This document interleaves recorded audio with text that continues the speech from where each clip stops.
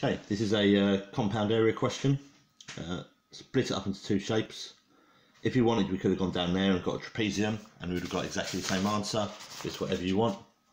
Uh, this one here, it's a rectangle, so again that's height times base, which is 4 times 8, which is 32 centimetres squared.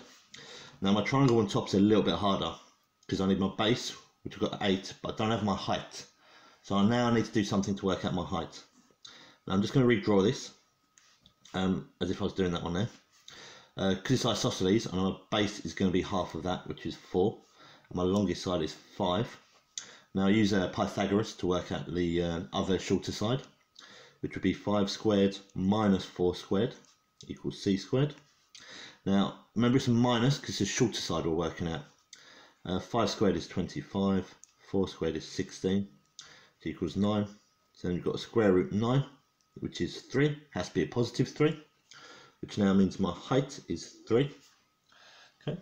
Now, to work this one out, all I have to do is uh, my height, which is 3, times my base, which is 8, and I have to halve it, because you always halve it with your triangles, which gives me 12 centimetres squared. Then you add these two together to give me 44 centimetres squared.